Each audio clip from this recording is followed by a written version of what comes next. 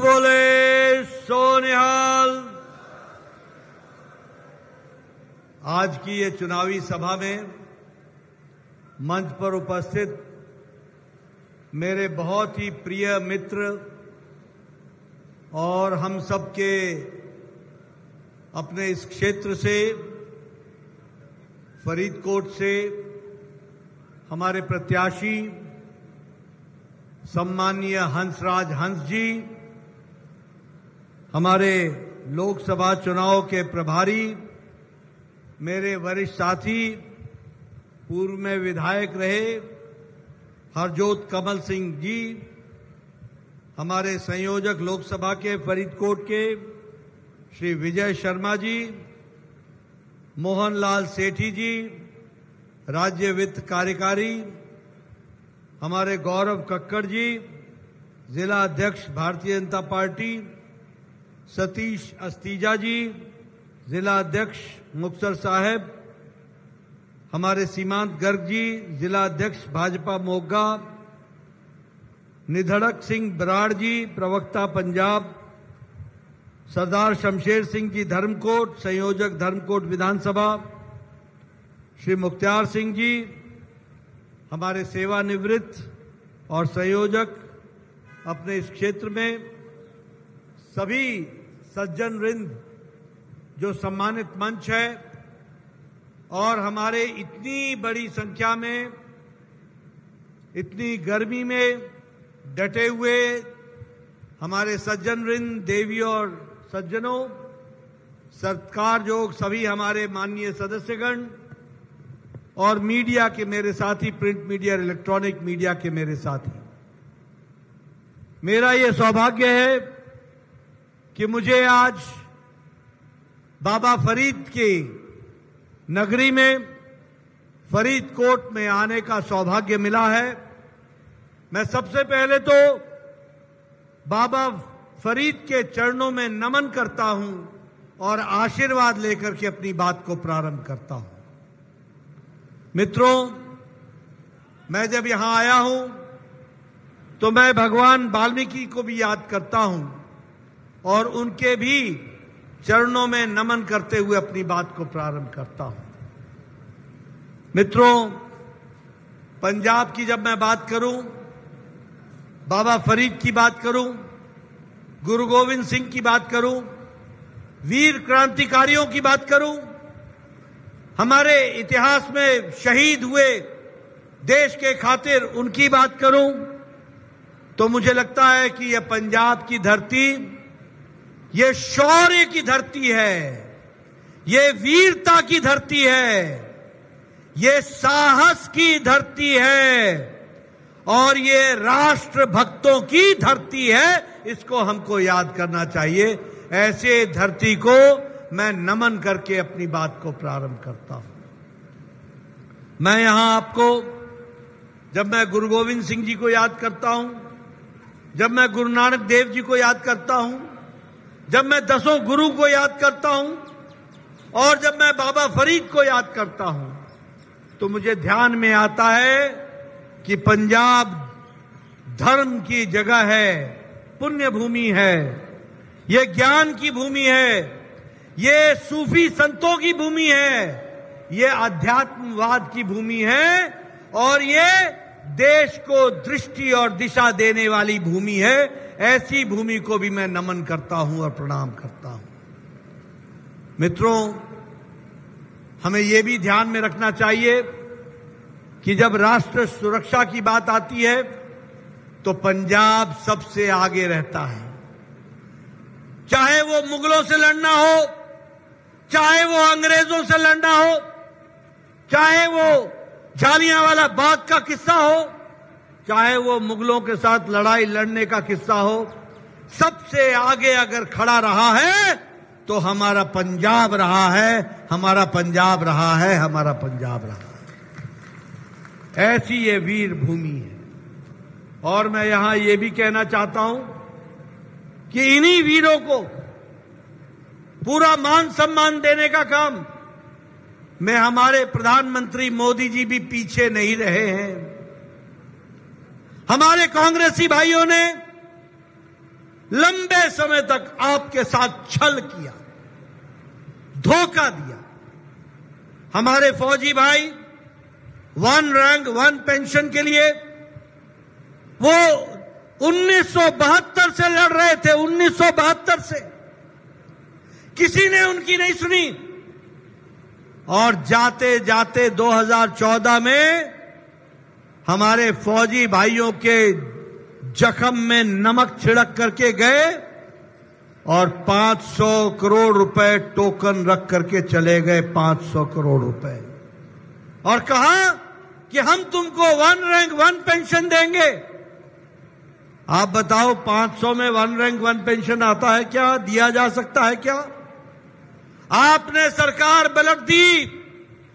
2014 में मोदी जी को प्रधानमंत्री बनाया और मोदी जी ने एक साल के अंदर सवा लाख करोड़ रुपए फौजी भाइयों के खाते में पेंशन में डालकर वन रैंक वन पेंशन को साकार कर दिया। ये भी हमको ध्यान में रखना चाहिए। सवा लाख करोड़ रुपए। उसी तरीके से हमारे नानकाना साहब गुरु नानक जी की भूमि, जिसे हम दूर से देखा करते थे, हम दर्शन नहीं कर सकते थे। सत्तर, पचहत्तर साल बीत गए, कांग्रेसियों की पीढ़ियाँ बीत गई। एक के बाद एक सरकारें आई। लेकिन हम नानकाना साहब जाना हमारे लिए दूभर था।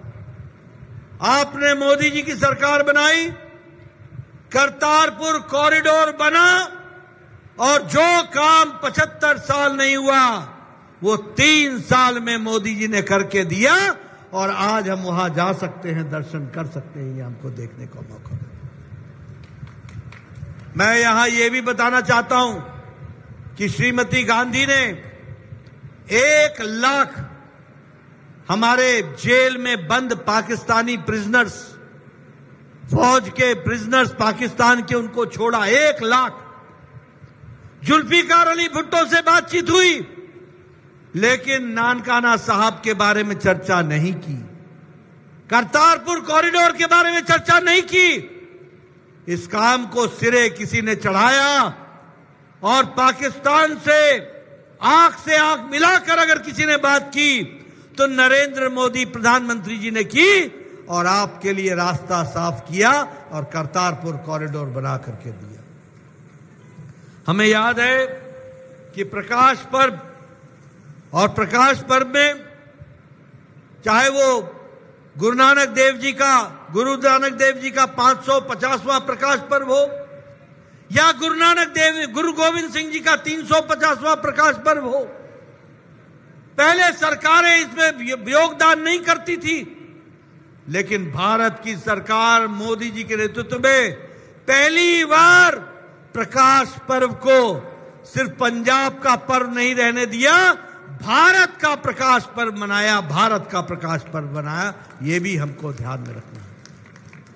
मित्रों, हमारे गुरु गोविंद सिंह साहब के दो साहबजादे जिन्होंने देश की खातिर, समाज की खातिर मुगलों से टक्कर ली और शहादत दी लेकिन देश में 75 साल के आज़ादी के बाद भी इन शहजादों को याद करने की कोई व्यवस्था नहीं थी।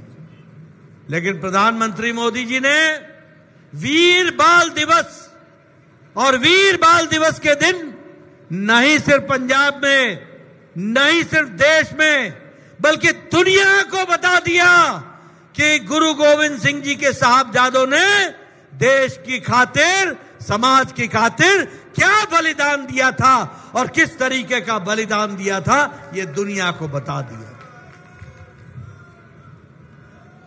मित्रों, ये कांग्रेसी भाई और ये जो गलती से आए हुए आम आदमी पार्टी के कट्टर बेईमान हैं, इनसे मैं पूछना चाहता हूँ इन कट्टर बेईमानों से, तुम C A citizen amendment act का विरोध करते हो।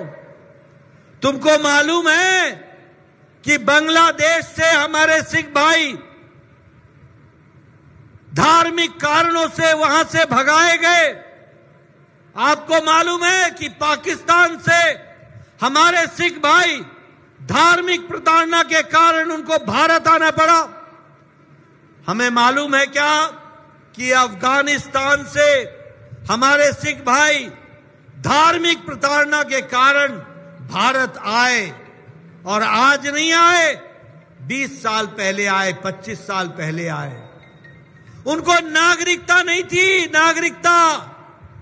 उनको नागरिकता देने का काम किया है तो वो भारत के यशस्वी प्रधानमंत्री, हम सबके हरमन प्यारे आदरणीय नरेंद्र मोदी जी ने दिया, ये भी हमको ध्यान में रखना चाहिए। आज वो भारत के नागरिक बन रहे हैं। वो भारत में इज़्ज़त से रह सकते हैं। और हमारे आम आदमी पार्टी के केजरीवाल, वो इनको बोलता है, ये बलात्कारी हैं, ये रेपिस्ट हैं, ये चोर उचक्के हैं। इनको सिटीजनशिप देने का मतलब है भारत में गड़बड़ी, खलबली। बोलो, ऐसे केजरीवाल को आगे आने दोगे क्या? जरा ज़ोर से बोलो भाई, हमको ऊँचा सुनता है। ऐसे केजरीवाल को आने दोगे क्या? जो शरणार्थियों को बलात्कारी बोले, जो शरणार्थियों को बेचारे वहाँ से निकाले गए और उनको इस तरीके से कहे। मैं बताता हूँ, दो साल पहले अफ़गानिस्तान में तख्ता पलटा। हमारे सिख भाई अपने गुरु ग्रंथ साहब को बचा करके उनको भारत आना पड़ा। लेकिन सरकार यहाँ पर मोदी जी की थी। मोदी जी ने कहा, तुम्हारा तख्ता पलटा होगा, लेकिन मेरे भारत के एक भी सिख भाई का नुकसान नहीं होना चाहिए। मैं एरोप्लेन भेज रहा हूँ, मैं अपना मंत्री भेज रहा हूँ। वो बाक बाइज्जत उनको लेकर के आए। और मुझे याद है कि गुरु ग्रंथ साहब की सेवा करने का दिल्ली के एयरपोर्ट पर मुझे भी सेवा करने का मौका मिला और गुरु ग्रंथ साहब को हम गुरुद्वारे में स्थापित कर पाए, ये हमने देखा है। ये हम लोगों ने देखा है। मित्रों, मैं यहाँ ये भी कहना चाहता हूँ कि आज मोदी जी के नेतृत्व में सारा देश आगे बढ़ रहा है। सारा देश। आज अमेरिका की अर्थनीति डगमगा गई है कोरोना के बाद। आज यूरोप की अर्थनीति पिछड़ रही है। आज चीन पिछड़ रहा है, जापान पिछड़ रहा है। रशिया में आर्थिक नीति में मंदी है। लेकिन आपको जानकर खुशी होगी, यही हमारे हंसराज जी, सांसद रहे हैं। दिल्ली से इन्होंने भी पूरी ताकत लगाई और मोदी जी के नेतृत्व में इन विपरीत परिस्थिति में भी भारत की अर्थव्यवस्था ग्यारहवें नंबर से छलांग लगाकर ब्रिटानिया को पछाड़कर तीसरे पाँचवें नंबर की अर्थव्यवस्था बन गई, पाँचवें नंबर की अर्थव्यवस्था। अब हम आपसे निवेदन करने आए हैं। बाबा फरीद की नगरी में, पुण्य भूमि में, हमारे हमारे बहुत ही हरमन प्यारे अज़ीज़ हंसराज हंस को चुनाव जिता के भेजो। मोदी जी को तीसरी बार प्रधानमंत्री बनाएँगे और भारत नोट कर लेना मेरी बात। भारत तीन साल के अंदर दुनिया की तीसरी सबसे बड़ी आर्थिक शक्ति बन जाएगा इकोनॉमिक पावर बन जाएगा, ये याद आज आज दुनिया में दवाई बनाने में भारत आज दूसरे नंबर का देश है दवाई बनाने में। मैं भारत का स्वास्थ्य मंत्री रहा हूँ। मैं पत्रकार बंधुओं को बताना चाहता हूँ। इस देश में कोरोना, इस देश में टेटनस की दवा को आने में 28 साल लग गए। अपने देश में डिप्थेरिया की दवाई को आने में 30 साल लग गए। अपने देश में टीबी, ट्यूबरक्लोसिस की दवा को आने में 28 से 30 साल लग गए। लेकिन जब कोरोना आया, दुनिया नहीं जानती थी कि इसकी दवा क्या होगी। बड़े बड़े देश पर सुपेश में थे। मोदी जी ने नौ महीने के अंदर इसी देश के वैज्ञानिकों के माध्यम से एक नहीं दो दो टीके दो दो वैक्सीन बनाने का, आत्मनिर्भर बनाने का काम किया। और 140 करोड़ के देश को डबल डोज 220 करोड़ और विद बूस्टर लगा करके कोरोना से बचाने का काम किया तो प्रधानमंत्री मोदी जी ने किया। और आपको जानकर खुशी होगी कि दवाई में भारत दुनिया का दूसरा नंबर का देश है। सबसे सस्ती और टिकाऊ दवाई भारत बना रहा है। और कोरोना की दवाई हमने 100 देशों में पहुंचाई 100 देशों में। और 48 देशों में भारत ने वैक्सीन मैत्री में मुफ़्त में दवाई पहुंचाई, मुफ़्त में दवाई पहुंचाई। अंतर क्या है? अंतर यह है कि अब भारत मांगने वाला भारत नहीं है। अब भारत देने वाला भारत है, दुनिया को देने वाला भारत है यह अंतर आ गया। केमिकल्स में, पेट्रोकेमिकल्स में हम 106 प्रतिशत हमारा निर्यात, हमारा एक्सपोर्ट बढ़ गया। टॉय इंडस्ट्री में हम आगे बढ़ गए। हम जापानी गाड़ियों की बात करते थे, टोयोटा डैटसन टोयोटा डैटसन। आज आपको मैं बताना चाहता हूँ, जापान को पछाड़ करके भारत आज दुनिया में तीसरे नंबर का ऑटोमोबाइल मार्केट भारत बन गया है, तीसरे नंबर का भारत। और मैं एक बात और बताना चाहता हूँ भारत के बारे में। आपके हाथ में मोबाइल है, बताओ, अब मोबाइल है ना आपके हाथ में? जब ज़ोर से बोलो भैया मोबाइल है कि नहीं है? है ना? आपके मोबाइल में 10 साल पहले लिखा होता था, made in China, made in Japan, made in Taiwan, made in Korea. आज आपके मोबाइल पे लिखा है मेड इन इंडिया। आज संतानवे प्रतिशत मोबाइल भारत में बन रहा है। यह बदलता भारत है। दुनिया मान रही है कि आज भारत लीड कर रहा है। बोलो दुनिया में भारत की छवि आगे, आगे बढ़ी है कि नहीं बढ़ी है? जरा ज़ोर से बोलो बढ़ी है कि नहीं बढ़ी है? मोदी जी के नेतृत्व में आगे बढ़ी है कि नहीं बढ़ी है? आप बताइए मोदी जी के नेतृत्व में गाँव, गरीब, वंचित, पीड़ित, शोषित, दलित, युवा, किसान, महिला, अगर इनको किसी ने ताकत दी है तो वो मोदी जी की कार्यक्रमों ने और मोदी जी की नीतियों ने ताकत दी है। मोदी जी के कारण नीति आप मज़बूत हुई हैं। आप बताओ आपके गाँव में पक्की सड़क पहुँच रही है कि नहीं पहुँच रही है? जर ज़ोर से बोलो भैया, पहुँच रही है कि नहीं पहुँच रही है? पहुँची है कि नहीं? सात हज़ार किलोमीटर पिछले पाँच साल में गाँव की सड़कें बनी है। सात हज़ार किलोमीटर। पंजाब में। वैसे डेढ़ लाख किलोमीटर बनी है सारे देश में, पर सात हज़ार पंजाब में बनी है। आप बताइए, गाँव में आज वाईफाई चलता है कि नहीं चलता है? चलता है कि नहीं चलता है? मोदी जी ने डेढ़ लाख गाँव में, दो लाख गाँव में ऑप्टिकल फाइबर पहुँचाया, ऑप्टिकल फाइबर। और दो लाख गाँव में कॉमन सर्विस सेंटर खोल दिया। जिस कॉमन सर्विस सेंटर के कारण कंप्यूटर से फरीदकोट के गाँव में रहने वाला किसान पता कर सकता है कि उसकी गंधम को सबसे अच्छा दाम दुनिया के किस मंडी में मिलेगी और कहाँ वो बेच सकता है, ये ताकत मोदी जी ने दी है। आपका फ्लोरिकल्चर, आपका फूल दुनिया के किस मंडी में सबसे अच्छा बिक सकता है, ये आपको गाँव में पता चल सकता है।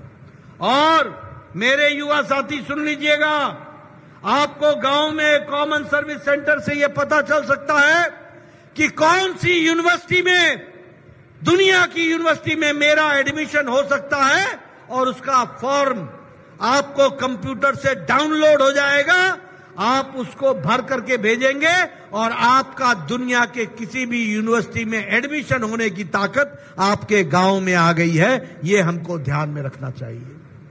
और इसीलिए जब ये डिजिटलाइजेशन की बात हो रही थी तो मेरे कांग्रेसी भाई और ये आम आदमी पार्टी जो कट्टर बेईमान पार्टी है, ये कट्टर बेईमान बोला करते थे, इनको मालूम नहीं है, भारत अनपढ़ है। ये कंप्यूटर लेके क्या करेगा? ये डिजिटल लेके क्या करेगा? यहाँ तो कुछ भी नहीं चलेगा। इनको भारत के नौजवानों का सामर्थ्य नहीं मालूम था। इनको भारत के किसानों की ताकत नहीं मालूम थी। इनको भारत के लोगों की ताकत नहीं मालूम थी। आज बताओ मेरे दोस्तों, मेरे भाइयों, आज सब्ज़ी वाला के दुकान पर क्यूआर कोड लगा हुआ है कि नहीं लगा हुआ है? आज सब्ज़ी वाला भी डिजिटल पेमेंट लेता है, डिजिटल पेमेंट लेता है, ये बदलता भारत है। ये बदलता भारत है। जिसको तुम अनपढ़ बोलते थे आज दुनिया का डिजिटल ट्रांजैक्शन भारत, दुनिया का 40 प्रतिशत डिजिटल ट्रांजैक्शन भारत कर रहा है, भारत। ये बदलता भारत है। और मोदी जी ने दुनिया भर को यह आह्वान कर दिया कि हमारा कोई पंजाबी मित्र भाई कनाडा से आए, अमेरिका से आए, इंग्लैंड से आए, उसको पैसे लाने की ज़रूरत नहीं है। वो सिर्फ़ अपना मोबाइल लेके आना सारे भारत घूम करके चले जाओगे, तुम्हारे को डिजिटल पेमेंट से तुम्हारी व्यवस्था हो जाएगी, तुमको कोई कैश लेके आने की ज़रूरत नहीं है। ये बदलता भारत है। यहाँ बैठे हैं हमारे हंसराज जी, हमारे एमपी हैं, और आगे भी आपके आशीर्वाद से पंजाब की धरती से पैदा हुआ पुत्र अब पंजाब से निकलेगा लोकसभा का सदस्य और फरीदकोट से बन करके आएगा, वो बैठे मैं स्वास्थ्य मंत्री था ये सब मुझे चिट्ठी लिखते थे क्या चिट्ठी लिखते थे नड्डा साहब स्वास्थ्य मंत्री जी ਸਾਡੇ गांव च ਸਾਡੇ ਪਿੰਡ ਚ ਇੱਕ ਬੰਦਾ ਹੈਗਾ ਉਹਨੂੰ ਕੈਂਸਰ ਹੋ ਗਿਆ ਹੈਗਾ ਉਹਦਾ ਇਲਾਜ ਹੋਣਾ ਸੀ ਉਹਦਾ 2 ਲੱਖ ਲੱਗਣਗੇ ਜੀ 3 ਲੱਖ ਲੱਗਣਗੇ ਇੱਕ ਬੰਦਾ ਹੈਗਾ ਜੀ ਉਹਦੇ ਆਪਰੇਸ਼ਨ ਹੋਣਾ ਜੀ ਹਾਰਟ ਦਾ ਨਵਾਂ ਵੈਲਵ ਪੈਣਾ ਹੈਗਾ ਜੀ ਉਹਦਾ ਕੀ ਬੋਲਦੇ ਉਹ ਜਿਹੜਾ ਬਾਈਪਾਸ ਸਰਜਰੀ ਹੋਣੀ ਉਹ ਕਿਡਨੀ ਬਦਲੋਣੀ ਹੈਗੀ ਜੀ ਉਹ ਲੀਵਰ ਦਾ ਟ੍ਰਾਂਸਫਰ ਹੋਣਾ ਜੀ 20 ਲੱਖ ਦੋ ਜੀ 10 ਲੱਖ ਦੋ ਜੀ 5 ਲੱਖ ਦੋ ਜੀ 2 ਲੱਖ ਦਿਓ ਜੀ ਇਹ ਤਿੰਨ ਮੰਗਦੇ ਥੇ ਮੈਂ ਡੇਢ ਦਿੰਦਾ ਥਾ ਇਹ ਦੋ ਮੰਗਦੇ थे मैं एक ਦਿੰਦਾ था बाकी ਅਸੀਂ जनता जनार्दन से इकट्ठा करते थे था कि नहीं था स्थिति थी कि नहीं थी आज मोदी जी ने कहा नड्डा कुछ बड़ा सोच और उन्होंने बड़ा सोचा आज भारत में 10 करोड़ चौहत्तर लाख परिवार, फैमिली 50 करोड़ लोग जो गरीब हैं, कौन है? रेडी वाला, रिक्शा वाला, ठेला वाला, सब्ज़ी वाला, बस का ड्राइवर, कंडक्टर, बस का क्लीनर, ट्रक का ड्राइवर, ट्रक का cleaner, lift man, security man, बाल काटने वाला सैलून में, कूड़ेदान से प्लास्टिक इकट्ठा करने वाला सब्ज़ी मंडी में और अनाज मंडी में और दाना मंडी में पल, पल्लेदार बोझा उठाने वाला अनाज उठाने वाला। ऐसे गरीब लोगों को मोदी जी ने हर साल गंभीर बीमारी से लड़ने के लिए पाँच लाख रुपए हर साल देने की व्यवस्था की पाँच लाख और तीन सौ पैंसठ करोड़ रुपए का इलाज गरीब लोगों का हो चुका है। तीन सौ पैंसठ करोड़ रुपए का इलाज हो चुका है। अब मैं खुशखबरी आपको सुनाना चाहता हूँ। मेरी बात जरा ध्यान से सुनना।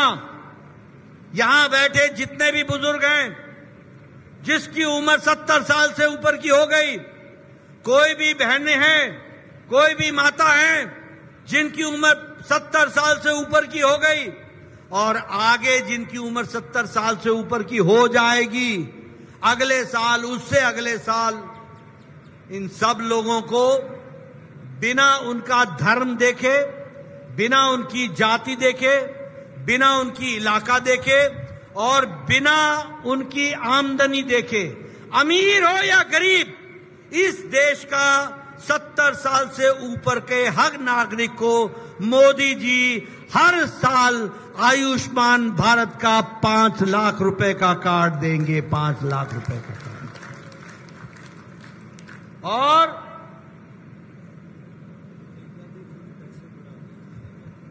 और पाँच लाख रुपए देंगे, पाँच लाख रुपए।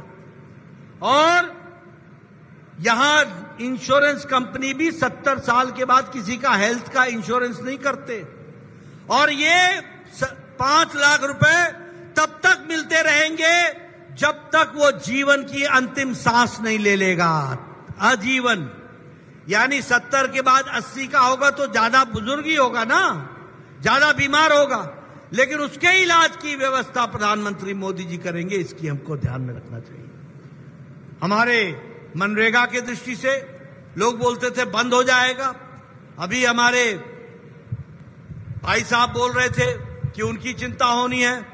मैं कहता हूँ, आप एक बात ध्यान रखो, मनरेगा के दृष्टि से भी। आपने हंसराज हंस की चिंता एक तारीख को कर लेनी, बाकी चिंता मैं करूँगा, हमारी सरकार करेगी, ये आपको विश्वास दिलाना चाहता हूँ। लेकिन मित्रों, आपको मैं बताना चाहता हूँ, यहाँ बैठे लोग, मैं उन्नीस सौ तिरानवे, नाइनटीन में एमएलए बन गया था 1993 में। मेरी उम्र उस समय इकतीस बत्तीस साल थी। मेरे इलाके में मेरा बीडीओ था ब्लॉक डेवलपमेंट ऑफिसर वो मेरे को आके बोलता था कि नड्डा साहब तोनू एक खुशखबरी सुनाइए। मैं बोलता था आओ भाई चाह शाह पियो सुनाओ खुशखबरी की, खुशखबरी है। बोलता था तोनू ना ना इस साल एक पंचायत च दो इंदिरा आवास योजना के घर मिले ने। दो। दसो किनू दईए मैं कहता था, भाई, एक अनार, सौ बीमार, मैं की करूँगा जी? ये तुम अपे बंट दो, मैं नहीं बंट सकता मैं नहीं बांट सकता हूँ। ये आप बांटो, ये दो मकान लेके मैं क्या करूँगा?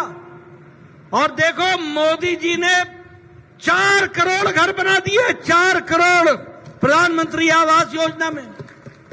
और हंसराज हंस को चुनाव जिता के भेजना, तीन करोड़ और घर बन जाएँगे, तीन करोड़। कोई कोई कच्ची छत के नीचे नहीं सोएगा, सब पक्के छत के नीचे सोएँगे।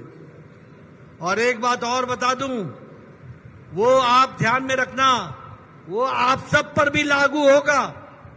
आप सब लोग याद रखना मेरी बात। हंसराज हंस को चुनाव जिताओ। आने वाले समय में आप सबके घरों की बिजली का बिल ज़ीरो हो जाएगा, ज़ीरो हो जाएगा, ज़ीरो। एक नई योजना आ रही है, आई है।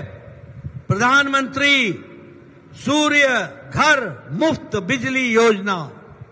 सरकार की तरफ़ से हर घर के ऊपर सौर ऊर्जा का प्लांट लगेगा, सोलर एनर्जी का प्लांट लगेगा। और उस एनर्जी से आपके घर की बिजली का खर्चा होगा। और आपकी बिजली का बिल ज़ीरो हो जाएगा ज़ीरो। सूरज की किरणों से आपकी बिजली, सौर ऊर्जा और प्लांट सरकार लगाएगी। सरकार उसके लिए आपको मदद करेगी। और जो बिजली खर्च नहीं होगी, वो बिजली ग्रिड में चली जाएगी। और ग्रिड से जब वो खर्च होगी तो जितने यूनिट आपके घर की बिजली खर्च होगी उतने यूनिट का पैसा आपके घर में आमदनी के माध्यम से आपको मिल जाएगा, ये फ़र्क होगा। बोलो, बदलता भारत है कि नहीं है? बोलो, बदलता भारत है कि नहीं है? मैनू मैनू उच्चा सुनता जरा ज़ोर नाल बोलो। बदलता भारत है कि नहीं है? ये फ़र्क हमको समझना चाहिए।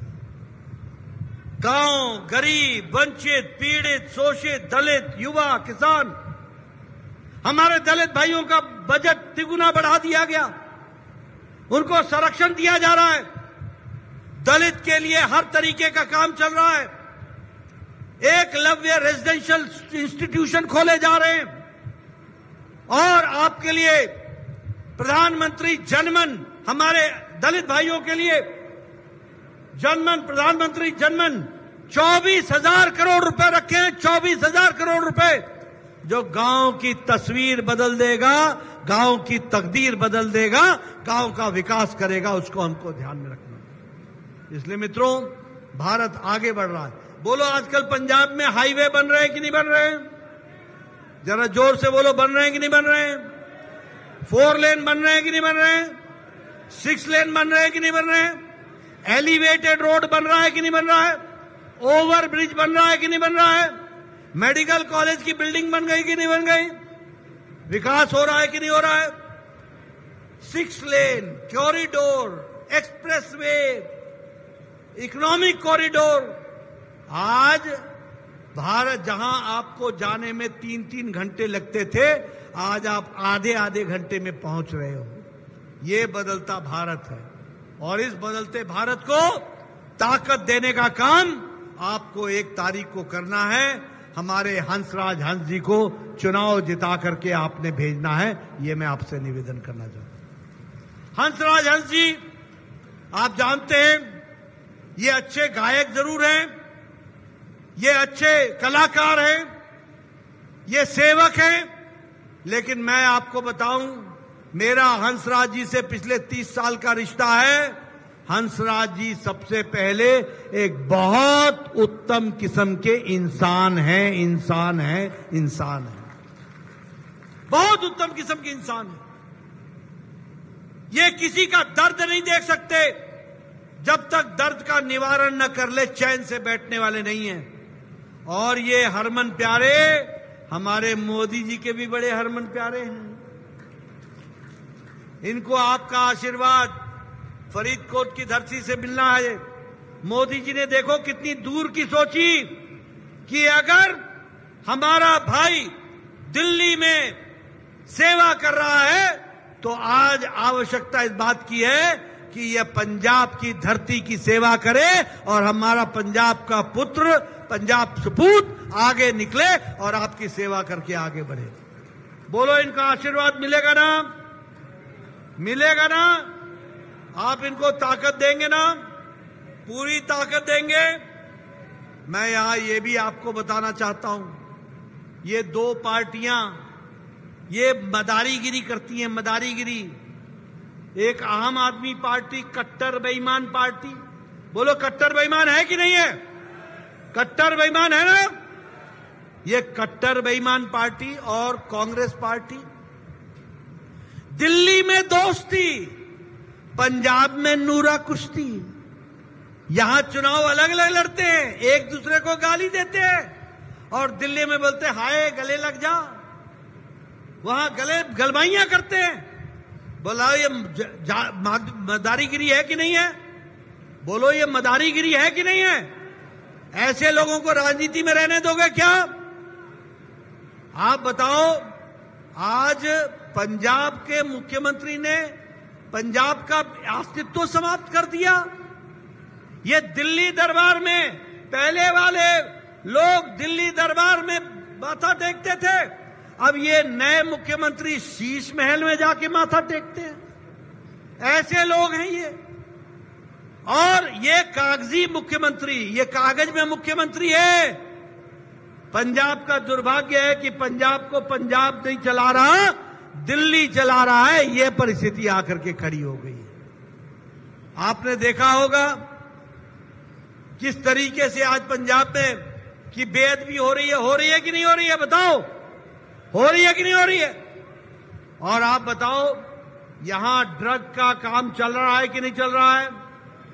शराब का काम चल रहा है कि नहीं चल रहा है? गलत धंधे चल रहे हैं कि नहीं चल रहे हैं? और सरकार के संरक्षण में चल रहे हैं कि नहीं चल रहे हैं? मित्रों, ये ऐसे भ्रष्टाचारी हैं जो हर तरीके से कांग्रेस और ये आप वाले, कांग्रेस वाले, ये जिस तरीके से काम कर रहे हैं, वो हम सबके ध्यान में आता है। मैं यहाँ ये भी कहना चाहूँगा, ये गिंडी गठबंधन, ये घमंडिया गठबंधन, ये चाहे आम आदमी पार्टी हो, चाहे कांग्रेस पार्टी हो, दोनों ही भ्रष्टाचारी पार्टियाँ हैं, दोनों ही भ्रष्टाचारी बोलो, कांग्रेस ने कोयला घोटाला किया था कि नहीं किया था? चीनी घोटाला किया था कि नहीं किया था? चावल घोटाला किया था कि नहीं किया था? टू जी थ्री जी का घोटाला किया था कि नहीं किया था? समुद्र का पनडुब्बी घोटाला किया कि नहीं किया? आकाश में ऑगस्टा वेस्टलैंड का घोटाला किया कि नहीं किया? कॉमनवेल्थ गेम्स का घोटाला किया कि नहीं किया? ये सारे घोटाले करने वाले कांग्रेस पार्टी बोलो, अरविंद केजरीवाल ने शराब का घोटाला किया कि नहीं किया? दवाई का घोटाला किया कि नहीं किया? ये घोटालेबाज चोर चोर, मौसेरा भाई। ये सब चोर, मौसेरे भाई बने हुए हैं। आप बताओ, राहुल गांधी बेल पर है कि नहीं है? जब ज़ोर से बोलो, बेल पे है कि नहीं है? सोनिया गांधी बेल पर है कि नहीं है? पी चिदम्बरम बेल पर है कि नहीं है? कार्तिक चिदम्बरम बेल पर है कि नहीं है? लालू यादव बेल पर है कि नहीं है? टीएमसी ममता के मंत्री बेल पर है कि नहीं है? डीएमके के नेता बेल पर है कि नहीं है? आप बताओ मनीष सिसोदिया जेल में है कि नहीं है? सत्येंद्र जैन जेल में है कि नहीं है? अरविंद केजरीवाल में जेल में था कि नहीं था? एक तारीख को वापस जाएगा कि नहीं जाएगा? ये सारे नेता या तो जेल में है या बेल पर है। बोलो, ऐसे नेताओं को आगे आने देना है क्या? ये सब भ्रष्टाचारी नेता, ये सब आकंठ भ्रष्टाचार में डूबे हुए नेता, इनसे हमको छुट्टी पानी है और ध्यान में रखना है।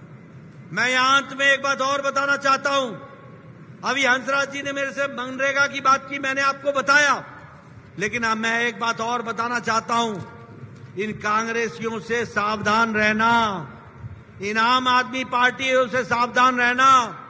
चुनाव के बाद ये लोग दलित भाइयों का आरक्षण, दलित भाइयों का रिजर्वेशन, इस पर डाका डाल करके मुस्लिम को देने का प्रयास कर रहे हैं, माइनॉरिटी को देने का प्रयास कर रहे हैं। बोलो, होने दोगे क्या? होने दोगे?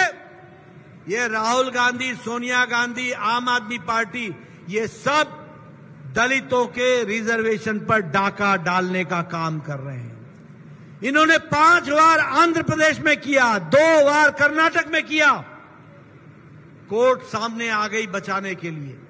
और मोदी जी ने कहा है, जब तक मोदी ज़िंदा है और जब तक बीजेपी है, तब तक दलित भाइयों के आरक्षण पर कोई डाका नहीं डाल सकेगा, कोई डाका नहीं डाल सकेगा ये कहा और इसीलिए आपसे मैं निवेदन करने आया हूँ कि आप हंसराज हंस जी को चुनाव जिताइए और हमारे फरीदकोट के विकास के लिए आप पूरी ताकत से आगे बढ़िए और कंधे से कंधा मिलाकर इस फरीदकोट को आगे बढ़ाने में कोई कसर मत छोड़िए। बोलिए, आपका आशीर्वाद मिलेगा ना? मिलेगा? मिलेगा? फिर एक बार फिर एक बार, फिर एक बार, अब की बार, अब की बार, अब की बार। बहुत बहुत धन्यवाद।